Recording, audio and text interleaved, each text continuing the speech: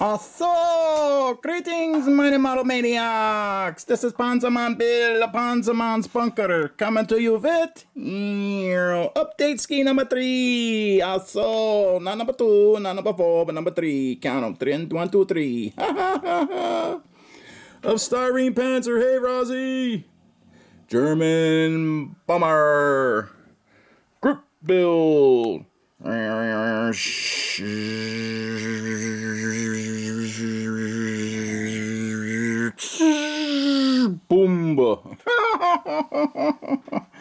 All right, fellas, time for an update ski. Haven't been doing much work on this, and I finally decided to knock some uh, knock some procedures out tonight. Okay, so let's show you what I've been up to. All right, Yavo, we da see. All right, here she is, fellas, coming down to the home stretch. Since you last saw her, I put the decals on her. Got some nice decals applied. Got a Jagdgewehr or, or, whatever it's called, the, the, unit crest there. I got the uh, Balken crosses on it, code numbers, even the dreaded swastika. Ah, dreaded swastika, no.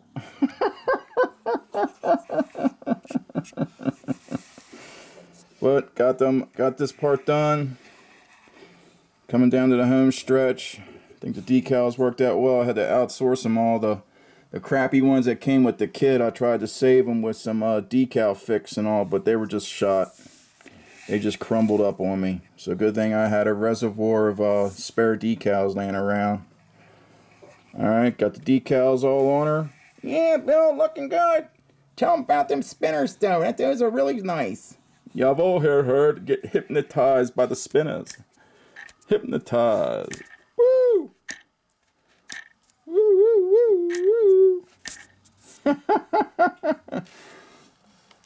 Did the uh, spirals down the spinners, the, the caps on the spinner hubs. Neat way of doing that. I, I should do a little uh, tutorial on that. You paint the whole thing white, or in this case a silver gray, and then you go with a pencil. Easier to do with a pencil because you can erase it off. Draw in the spiral and then go back in and cut in the dark areas around it. And any pencil that's left over on the white, you just go in with a really soft tip eraser, like one of them, and just clean them off. Easy peasy. You don't have to go crazy trying to paint the spiral in. You just go ahead and do it that way. It's a lot easier to do. Also, got the decals on the bottom.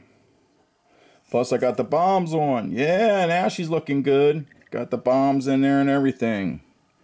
Plus, as you can see, I did a real quick uh, thinned black wash through all the, the panel lines that it did have. Most all the surface details raised. I'm going to have to do a pencil line on that. But I ran uh, thinned uh, black enamel down through it and, and wiped it off with a uh, dampened rag with some thinner on it. Cleaned it up a little. But she's looking good, fellas. All I got to do next is the very, very complicated glazings. I got to do that, that spot down here for the, the ventral gunner.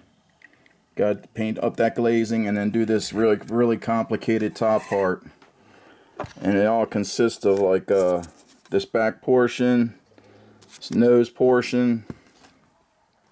I got to put the gun in for the top, the turret cap, and that's the ventral gun position. Plus there's a gun that comes out the front